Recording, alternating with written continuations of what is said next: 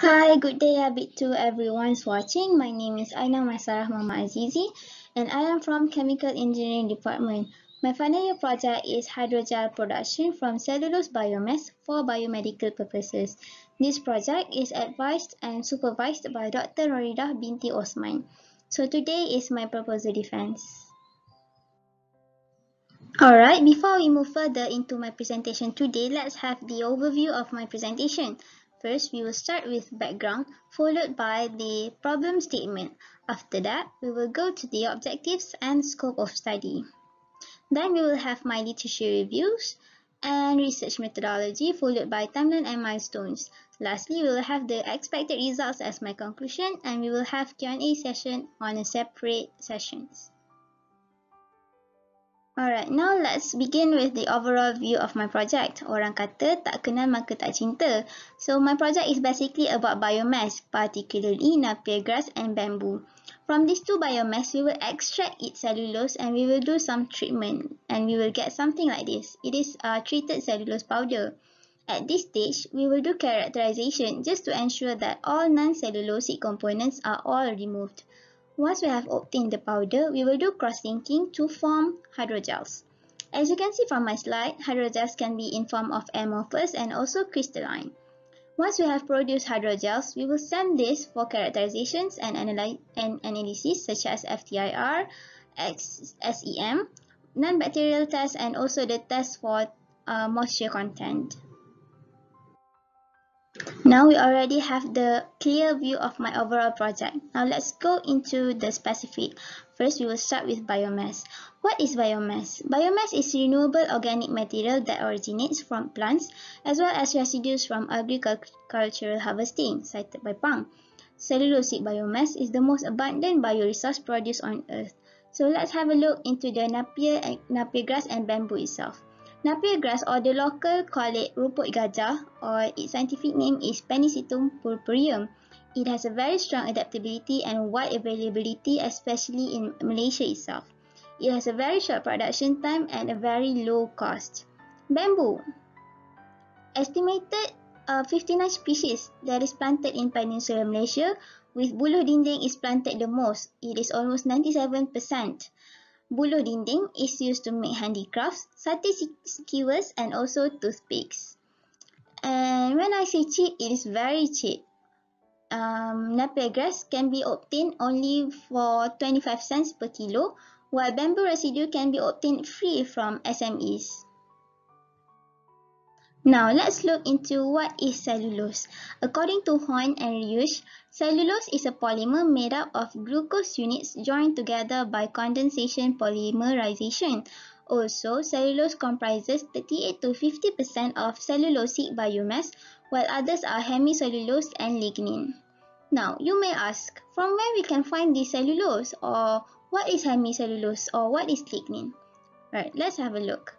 You can find uh, cellulose in plants, in its leaves, stems, and even their roots because it is consists. Uh, it is uh, it is what made the uh, plant cell wall. So let's have a look into the cell wall. We can find cellulose, hemicellulose, and lignin. Cellulose, hemicellulose, and lignin coexist together in microfibrils. This is the cellulose chain and as you can see, it is uh, made up of beta-glucose monomer which is linked together by beta-1,4-glycosidic link. As you can see, it is a very straight chain. Uh, it is a very straight chain, making it able to be packed close together and making them a very rigid structure. And to compare with starch, cellulose is more crystalline as and is in and insoluble in water. It is also tough and fibrous and water-insoluble polysaccharide. And just to share a fun fact, cellulose consists of three fractions namely alpha cellulose, beta cellulose and also gamma cellulose. A high content of alpha cellulose indicates uh, a good quality in terms of stability of the finished material. Alright, so in my previous slides, we already know about the biomass and also cellulose. Now let's look into the hydrogel. Hydrogel is 3D network of hydrophilic polymers that can swell in water while maintaining the structure due to chemical or physical cross-linking of individual polymer chains. To have a better understanding, let's look in these graphics. So imagine the black curved lines is our cellulose chains. Initially, it is not connected to each other, but when we cross-link it, it, uh, it forms a new network that can hold substance together. In this case, in case of hydrogel, it can hold subs, uh, it can hold water without um, without dissolving it. And then we can classify hydrogels according to many ways, but in this presentation, I will only focus on source and also cross-linking. According to source, there are three types of hydrogels which are natural, synthetic and hybrid. So obviously for my project, it is a natural source of hydrogel. For cross-linking, it is either chemical or physical. Chemical cross-linking is permanent while physical is uh, reversible. It is due to uh, the permanent junctions or transient junctions that is formed during physical uh, cross-linking. And because of the many advantages of hydrogels, it already implemented widely in biomedical. The one of the Few of the applications are in contact lenses, wound dressings, drug delivery, and also tissue engineering. It is because um, the water that is inside the gel matrix can provide moist conditions that may uh, that may promote um, wound and scars healing. Alright, done with the project background, let's move into the problem statement. For this project, we have two problems which are Common synthetic hydrogels are, for, fundamentally different from biological gels and secondly, traditional wound dressings causes trauma on skin epidermis. As mentioned, so let's have a look um, in the first problem first. As mentioned before, there are three types of hydrogels. It can be natural, um, synthetic or hybrid. And synthetic hydrogels such as acrylamide hydrogels or PEG hydrogels are usually quite different from naturals. It can be stiffer and less porous than natural hydrogels. Natural hydrogels are fibrous in architecture and porous, which allows easy transport to entire cells. That is why for this project, we would we opt for natural hydrogels instead of a synthetic one. Second problem. Traditional wound dressing cause trauma on skin epidermis. Now imagine the skin uh, the image here is your skin and we put um, bandage directly on the wound. Because of it adherent to the wound, we, it may cause trauma when we strip off newly formed epidermis, right? So hydrogels may combat this. And another one, the traditional wound dressings may cause um, skin maceration if it's not changed regularly. Alright, now let's move into the objectives, I mean the goals of this project. We have four, but first, to extract cellulose from Napier grass and bamboo and characterize them. Second is to study the properties of hydrogel produced from biomass. Third is to determine the effects of different ratio of cross-linkers and temperature to hydrogel performance. And lastly, to determine which hydrogel, either amorphous or crystalline, from the extracted cellulose is suitable for medical usage. Moving on to the scope of study, I have three, but the first one is research on related topics. At this part of the project is when I look for papers to know more about biomass, to know more about cellulose, cross-linking, hydrogels, and biomedic uh, my, uh, biomedical engineering. This is done for me to have a better view of this project and to extract the methods that I can do for my experiments. The next scope is cellulose and hydrogel samples preparations. Now I have known the method, uh, the methodology that I can do for my experiment. I will proceed with the samples preparation itself. And once the uh, samples are done, we will send the uh, samples to uh, for characterizations, tests, and analysis. In addition to the tests and characterizations, we will also do biocompatibility tests to support the success of cellulose-based hydrogels in biomedical engineering. Okay, moving forward from scope of study, let's move into the literature review. Now on this slide is actually the summary version of the literature review that I have done.